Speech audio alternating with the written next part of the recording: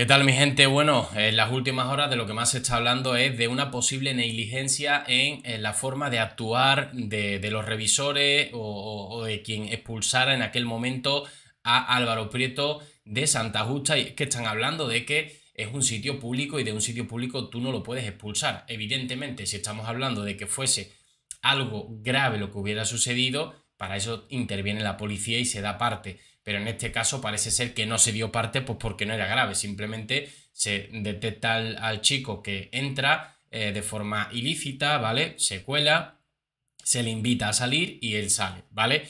Que hubiera sido el encontronazo un poco más o menos mm, eh, caliente el asunto, ¿no? En plan bravo.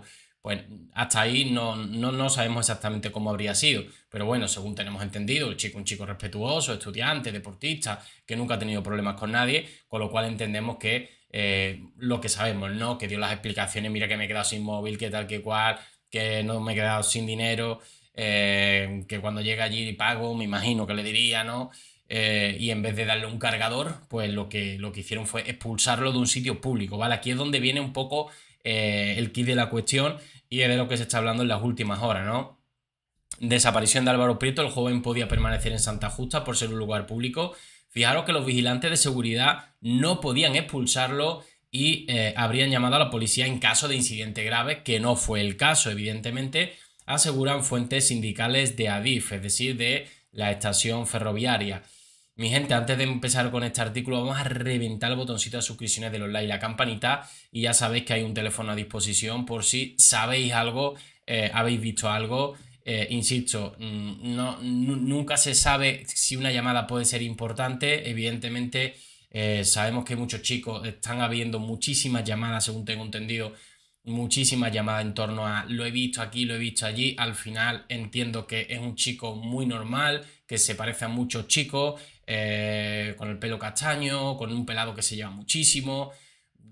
En fin, es que entiendo que se pueda parecer, nosotros no lo conocemos físicamente, en persona, hemos visto 7, 8 instantáneas, que son las que, las que tenemos, y no lo hemos visto interactuar, ni siquiera en vídeo, hemos visto solamente imágenes, con lo cual eh, es bastante complicado y se nos puede aparecer. Pero cualquier detalle que se pueda dar, ya sabéis que el teléfono, poniendo en Google simplemente teléfono Álvaro Prieto o algo por el estilo, eh, podéis, eh, os aparecerá ese teléfono. Bueno, dicho esto, la desaparición del joven cordobés de 18 años Álvaro Prieto en Sevilla en las primeras horas de la mañana del 12 de octubre ha impactado a toda España. Evidentemente que, bueno, pues que desaparezca un chico o una chica, sobre todo una chica, ¿no? De noche y tal, eh, en una discoteca o algo así, pues bueno, lamentablemente es lo que, es lo que suele pasar y, y evidentemente pues lo podemos llegar a, entender, no a entender porque eso no se debe hacer, pero me refiero, y ya me entendéis, eh, lo podemos llegar a entender que, por desgracia haya siempre desarmados que hagan esas cosas, ¿no?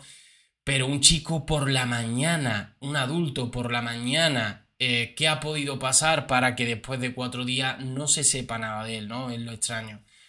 Bueno, en torno a ella se ciernen las extrañas circunstancias justo después de perder el tren y cuando intentó acceder a las vías en Santa Justa para coger otro, seguridad lo desalojó al detectar la entrada de un convoy. ¿Cómo debería actuar el personal de Adif en un caso así?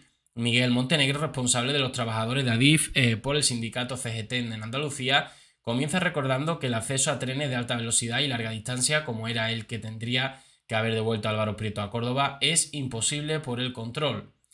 Por allí no se puede pasar sin billete. Álvaro accedió al andén, perdió el tren para el que tenía ticket e intentó subirse a otro AVE Sevilla-Barcelona de los 8.55 después de no abordar el de las 7.35 Avanta Córdoba que tenía previsto. Fue allí cuando el personal de la estación, los vigilantes de seguridad, se percataron y le eh, pidieron que abandonase el lugar. O sea, fijaros Fijaros que, insisto, mm, fijaros que yo al principio os he dicho, oye, ellos estaban haciendo su trabajo. Sí, sí, sí. Una cosa es que yo me creía que eh, lo habían expulsado del tren. Ahora, si lo han expulsado de Santa Justa, ya eso es otra cosa. O sea, si el chico está desamparado y al menos está en un sitio público en el cual, pues, podía sentarse tranquilamente a pensar qué hago, qué no hago, y se le expulsa hacia afuera, eh, pues bueno, ya esto es otra cuestión, ¿no? Ya, ya se le fuerza al chico a algo que, eh, que, bueno, en fin, sí, sabemos que a toro pasado, pues bueno, es muy fácil hablar, pero bueno, en fin, las cosas hay que hacerlas